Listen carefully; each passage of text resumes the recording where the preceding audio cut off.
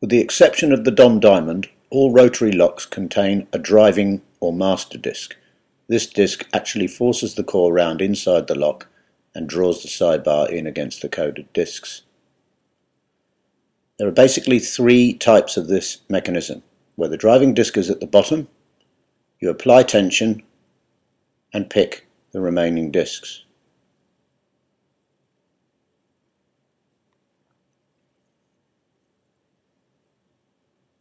This is the most common mechanism.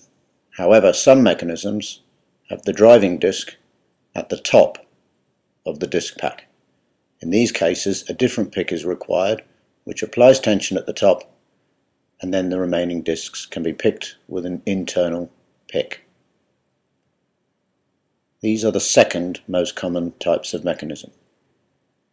The rarest form of mechanism are those mechanisms where the driving disc is somewhere in the middle of the disc pack. This is slightly more problematic.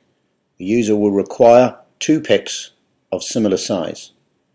One of these picks is used to apply tension to the driving disc, whilst the remaining pick is then used to pick all discs above the driving disc. Tension is then exchanged with the pick replacing the tension on the driving disc and the inner pick picking all discs in front of the tensioning disc.